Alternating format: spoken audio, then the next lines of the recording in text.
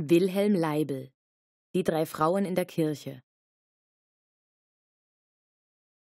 Es ist, als könne man das Holz riechen, den Glanz des Tonkrugs wahrnehmen, über die faltige Haut der Alten fahren. Vier Jahre lang perfektionierte Leibel dieses Bild, um genau diesen Eindruck beim Betrachter hervorzurufen. Zwei ältere Frauen und eine junge sitzen auf einer Gebetsbank. Dank der Detailtreue ist der Innenraum in der Pfarrkirche in Berbling, nahe Leibels Heimatort, identifizierbar. Die junge Frau, in prachtvoller Miesbacher Gebirgstracht gekleidet, ist im Verhältnis zu groß geraten. Ihre Tracht setzt sich von der simplen gestreiften und rein schwarzen Bekleidung der Älteren ab. Auch die Hände der drei Damen sind in ihren Größenverhältnissen zu groß dargestellt.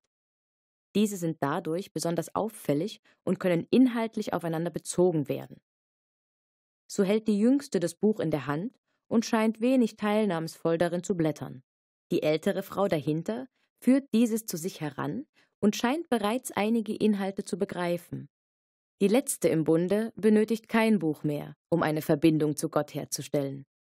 Womöglich ist in diesem Bild der Weg zum Glauben dargestellt.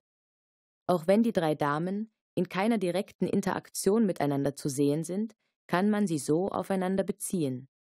Das junge Leben ist noch irdisch verhaftet.